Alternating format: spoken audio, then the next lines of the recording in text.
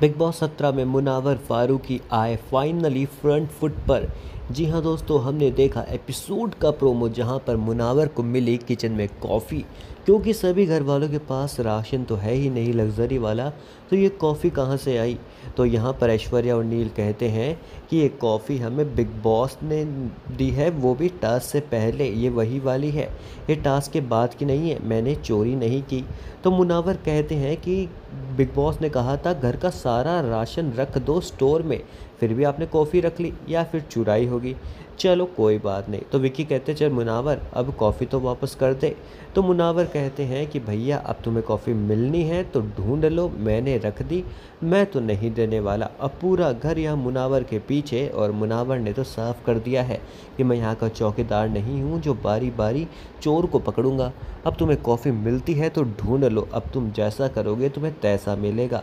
Finally Munawar front foot पे आके अब बैटिंग कर रहे हैं। कैसा लगा आपको कमेंट सेक्शन में बताएँ। सब्सक्राइब करें चैनल खेलो खेलो।